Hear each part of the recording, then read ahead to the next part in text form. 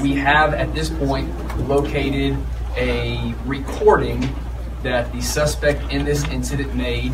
It is about a 25 minute recording where he talks about what he has done.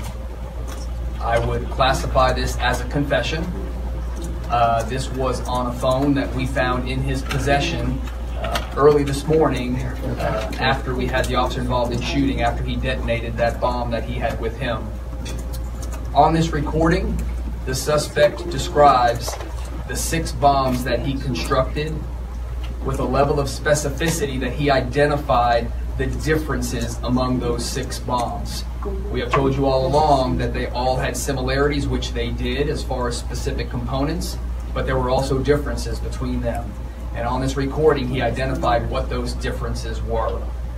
I know everybody is interested in a motive and understanding why, and we are never going to be able to put a ration behind these acts. But what I can tell you, having listened to that recording, he does not at all mention anything about terrorism, nor does he mention anything about hate. But instead, it is the outcry of a very uh, challenged young man talking about challenges in his personal life that led him to this point.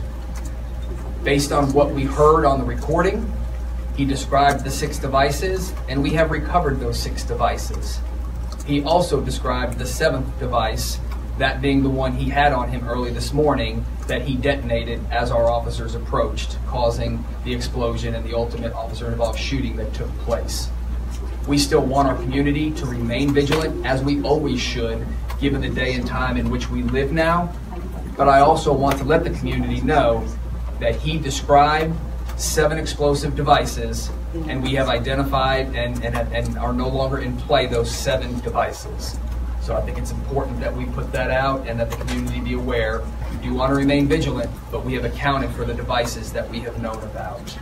Our goal throughout this was to put a stop to the violence to our community, but we were looking for a peaceful resolution last night. We had identified this individual as our suspect, and when we were able to locate him again up in that Round Rock area, in that uh, in that uh, parking lot of that hotel, we brought in many, many resources who all stayed at a distance so he would not recognize that we were there while we waited for the arrival of our tactical teams and the equipment that provides ballistic protection because we wanted to have the, the best outcome, but we also wanted to have the most safe environment for our officers to work within. While we were waiting for all of those assets to arrive, the suspect drove out of the parking lot.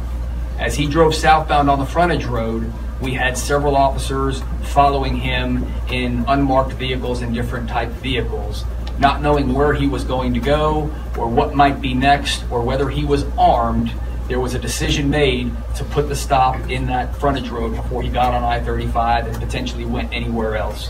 So our tactical team employed a tactic to stop the vehicle.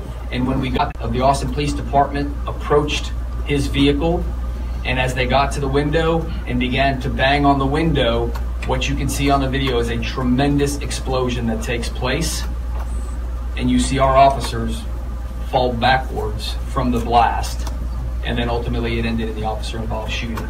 So as I described, we had officers knowing they had just stopped someone who has been involved in placing bombs around our community for three weeks, knowing the dangers involved in that, but they ran towards that and they put an end to it. One more, one more question. Was he killed by the shooting or by the bomb? That will be a determination for the medical examiner to make. However, I will say the injuries that he sustained from the explosion were significant.